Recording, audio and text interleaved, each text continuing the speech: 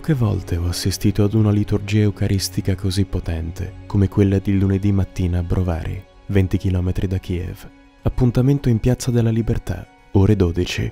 Si inaugura il Peace Village. 18 italiani hanno raggiunto con mezzi di fortuna il centro cittadino vicino alla capitale ucraina, viaggiando di notte, sfidando una bufera di neve ed un incidente stradale che poteva finire male, ed invece sembra oggi essere un tassello insostituibile della missione del MEAN. La notte precedente, infatti, il pulmino che ci avrebbe dovuto portare a Kiev si è schiantato contro una camionetta militare guasta che occupava l'autostrada come un muro invalicabile e non preannunciato da nessun segnale di pericolo. Sarà stata la provvidenza o la fortuna. Dopo lo schianto ci guardiamo increduli, stiamo tutti bene. Non siamo solo salvi, siamo completamente sani. E la provvidenza non finisce qui. Ci accorgiamo subito che a 30 metri si ergono come miraggi le luci di un autogrill, una presenza rarissima fino a quel momento, in una notte nevosa che sembra fuori misura anche per gli stessi ucraini. In quel minuscolo bar notturno, aspettando per tre ore che un nuovo mezzo venisse a recuperarci per proseguire il viaggio, siamo diventati ancora più uniti di quanto potevamo immaginare all'inizio del viaggio.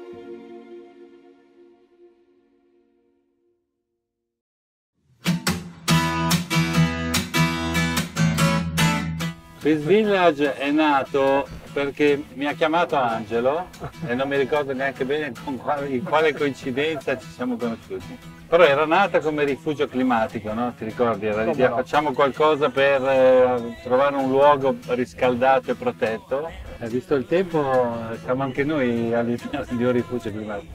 No, quindi e poi era stata un po' superata questa cosa del rifugio climatico, però era interessante l'idea di poter costruire anche una piccola cosa in un luogo così difficile, in cui in realtà si parla solo di distruzione, no? ci sono immagini solo di cose che si distruggono e quindi un po' nella vocazione anche di questo, di questo mestiere costruire un atto di pace sempre, è un atto di collaborazione sempre e devo dire che mi piace dire che abbiamo fatto non un lavoro di aiuto agli ucraini, abbiamo fatto un lavoro di collaborazione. Perché noi l'abbiamo pensato, l'abbiamo trovato chi ci ha aiutato a farlo, però poi l'hanno costruito i nostri amici a, a Brovary. No? Quindi è, più, è molto importante dire che questo tema della pace è un tema di collaborazione, non è un solito discorso di aiuti, e quindi siamo qua, io sono molto contento perché avevo un po' paura, un po' ce l'ho ancora devo dire, eh, però mi sono convinto che forse siamo protetti comunque da un'idea, un'idea forte che ci porterà fino là e quindi non vedo l'ora di vedere i nostri amici e di fare lì un momento anche di abbracciarci per dire che io ho fatto una bella cosa insieme.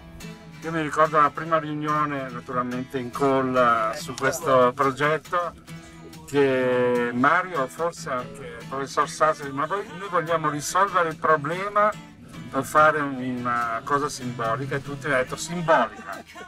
E ora è così, è, è una cosa simbolica, no? perché come hai spiegato, visto anche nel webinar con la Croce Rossa, anche costruire laddove stanno distruggendo. Ah, cioè, è un, è un simbolo pazzesco. E costruire assieme è un doppio, un doppio simbolo pazzesco. Mi venuta in mente questa persona, Sergei Malik, che è un altro Don Quixote, un altro folle che crede nelle cose e vince record mondiale dal nulla. E ci avete donato un simbolo che è diventato una, davvero un'onda di risonanza in città, vecchietti per cioè, si stanno là chiedono ma che cos'è, hanno dovuto fare una spiegazione che cos'è per i vecchietti giornalisti che, che fanno caccia a Sergei Malik per fare interviste e lui ha detto io devo fuggire, appena arrivo devo fuggire. Cioè, come si dice, ave, avete, avete paura a sognare perché i vostri sogni si realizzano.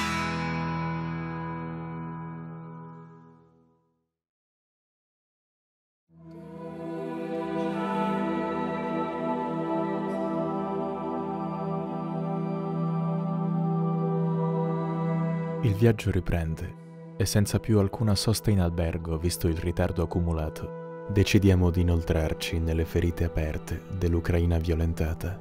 Il nostro spirito guida, Sergi, ci accompagna a Ozmel, Bucha, Borodianka Moshun, vuole che gli italiani vedano come novello Gesù ci invita a mettere mani e piedi nelle ferite del suo corpo, suo, perché come un anziano Whitman nel canto di me stesso, Sergei non ci presenta l'Ucraina, la indossa, è nelle sue viscere e vuole che mettiamo le dita dentro. Ha l'urgenza di dire attraverso i nostri occhi al mondo intero che non è vero che tutti quegli ucraini sono morti in vano.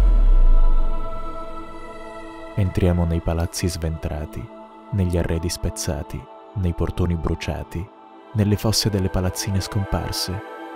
Incontriamo le donne che abitavano in quelle case, stringiamo le loro mani, ringraziamo il loro cuore e la loro sofferenza.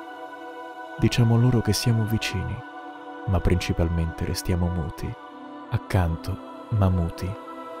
Scattiamo migliaia di foto Vorremmo anche noi poter dire al mondo cosa stiamo vedendo e ci rendiamo subito conto che anche se abbiamo già visto tanto alla tv, non è la stessa cosa. Qui senti il dolore, il grido all'ingiustizia, la preghiera e la bestemmia di chi ha visto i russi entrare dentro casa con le salve dei cannoni sparate dalle strade in un normale giorno di febbraio. Nel frattempo il nostro spirito guida non si sazia mai della nostra vista e fino a sera, incurante della notte insonne, ci porta nei boschi dove sono avvenute le battaglie più cruente dove decine di giovani sono stati falcidati, accenna il pianto, ma poi non si lascia mai andare del tutto, neanche davanti alle foto dei ragazzi, appese davanti all'albero che ha accolto i loro corpi feriti a morte. Buongiorno, eh, qui allora io sono Alina Ierko, questo è Igor, eh, Igor Koltunov, noi siamo deputati di Kiev eh, Regione, eh, noi siamo stati qui quando era questa tutta la situazione. Adesso noi siamo in Gostomel, Gostomel la città quella che prima era bombardata dai russi. Qui era una cosa che non si può spiegare.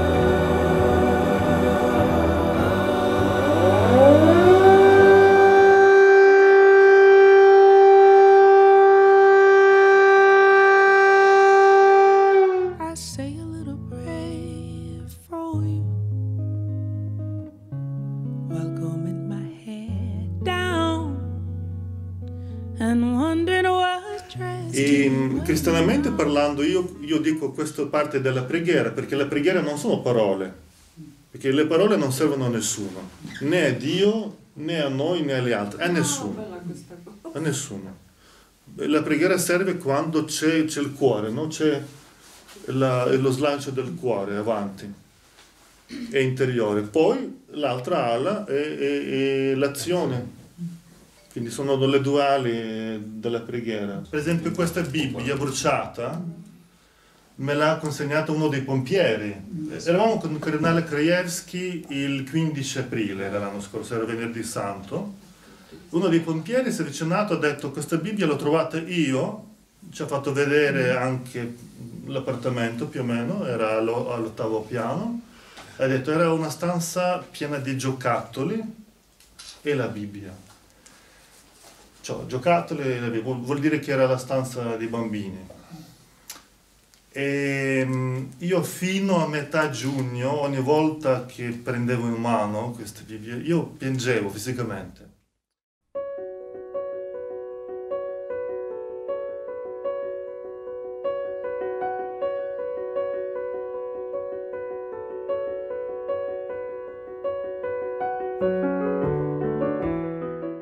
Know, you know, uh, when you are here, the all Ukraine people feeling like whole family, you know, with Europe.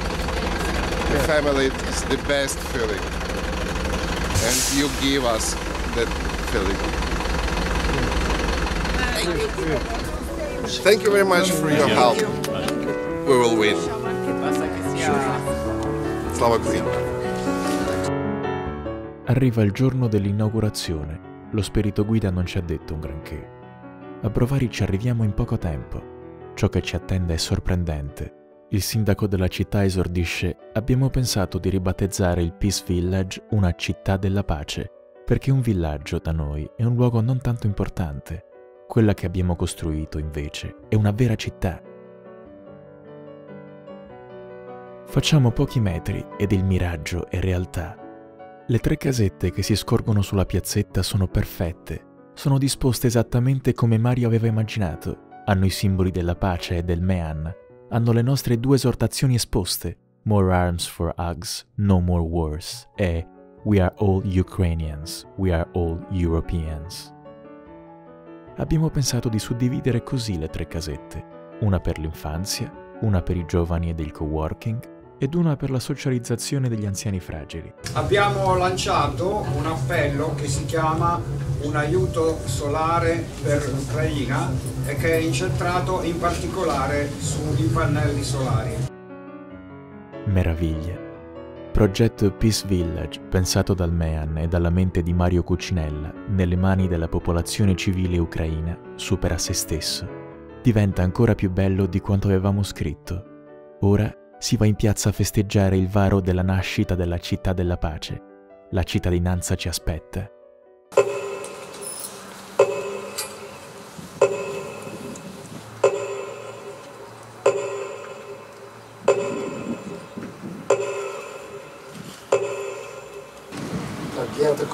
Ah, soprattutto vorrei ringraziare Angelo Moretti e Mario Cucinella perché questa idea è fondamentale, questa idea e loro presenza fisica in questo posto garantisce per noi uh, la sicurezza che l'Europa è insieme con noi e la nostra vittoria sarà, ci sarà.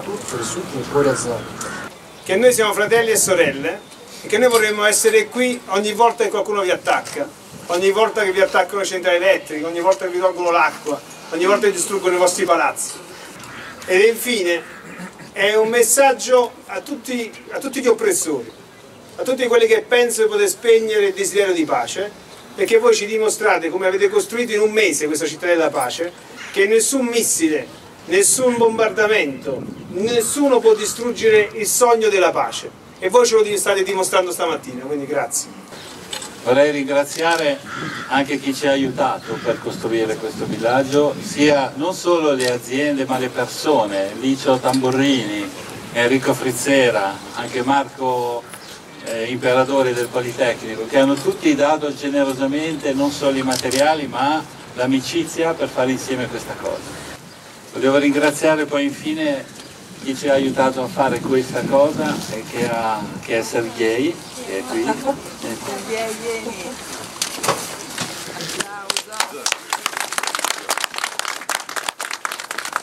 E proprio per questa collaborazione è nata un'amicizia fraterna. Grazie.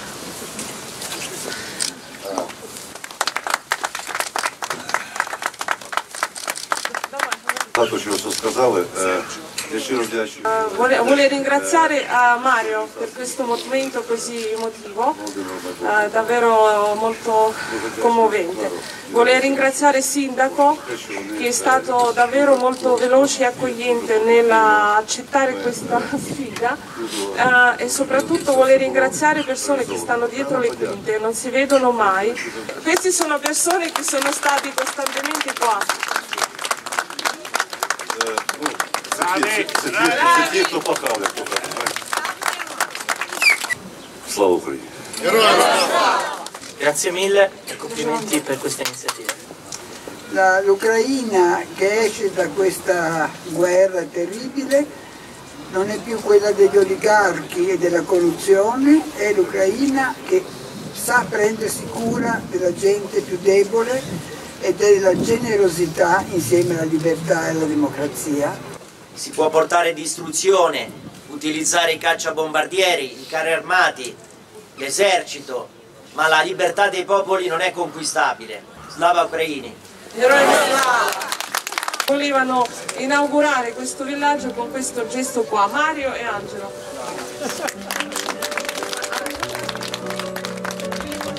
No, devi, devi rompere.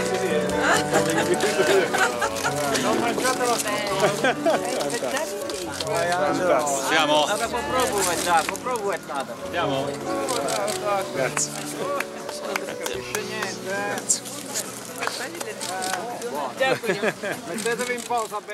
Il pane ci ha unito, più di ogni altra speranza, ha unito in una piazza sofferenza e gioia, la resistenza valorosa dei militari e degli atleti e la resistenza umile delle persone comuni, di chi non vuole abbandonare la propria terra. Ha unito noi italiani, brava gente, scherzosa, generosa, operosa e fantasiosa, con l'anelito di democrazia e libertà, di un popolo che ci guarda con santa invidia per i privilegi che abbiamo, mentre lui è costretto a difenderseli con le armi. Il pane ci ha trasformato, non eravamo solo italiani, non eravamo solo europei o solo ucraini, eravamo un unico popolo, un'unica anima. Il Peace Village, la città della pace, aveva appena visto accadere il suo primo miracolo, altri ne seguiranno, ora ne siamo certi, ma dentro di noi sappiamo che una parte del pane della nostra vita quotidiana sarà per sempre a Brovari, condiviso in maniera unica ed irripetibile in quella piazza, dove già speriamo di tornare come turisti italiani in un prossimo futuro, in un'Ucraina libera, in un'Europa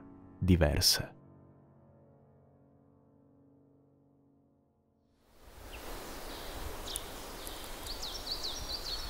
Ой, у лузі червона калина похилилася, чогось наша славна Україна зажурилася, а ми тую червону